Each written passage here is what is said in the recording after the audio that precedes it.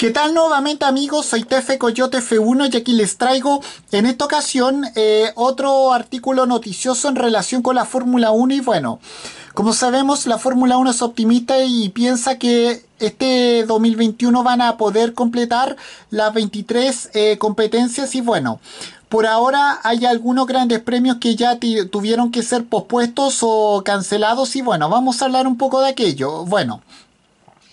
Bueno, luego de una temporada 2020 más que complicada en el que la Fórmula 1 tuvo que eh, rehacerse con un calendario totalmente distinto al que planteó en un principio, los máximos dirigentes de la categoría reina del automovilismo mundial eh, pudieron seguir adelante con los 23 eh, eventos actuales para este 2021. Bueno, si bien es cierto que algunas competencias como el Gran Premio de Australia o el de China ya fueron, ya tuvieron que ser pospuestos o cancelados, la Fórmula 1 confía en que todo vaya mejorando poco a poco con el objetivo de no encontrarse más problemas en un calendario que ya por sí mismo es bastante, es totalmente apretado. Bueno, estas fueron las palabras de eh, del, del, CEO de la, de la categoría reina del automovilismo mundial, Stefano Domenicali.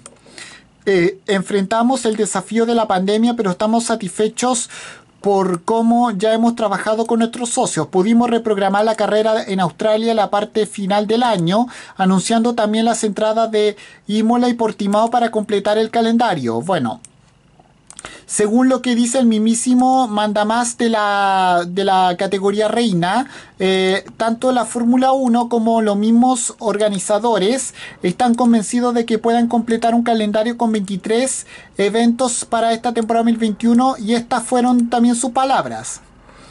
Eh, todas las conversaciones con los promotores eh, han sido positivas desde principios de año y cada uno de ellos ha dejado claro que los eventos deben desarrollarse según lo previsto. Bueno, eh, durante los días recientes o también las semanas recientes se ha visto como algunos grandes premios, como por ejemplo el de España, ponía en venta sus entradas o el caso del Gran Premio de Gran Bretaña.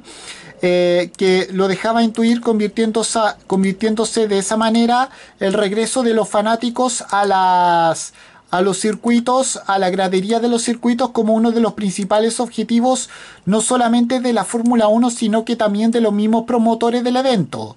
Bueno, y esto fue lo que y esto fue lo que había dicho para terminar el mismísimo Stefano Domenicali, CEO, nuevo CEO de la categoría reina del automovilismo mundial, las cuales estas son sus palabras.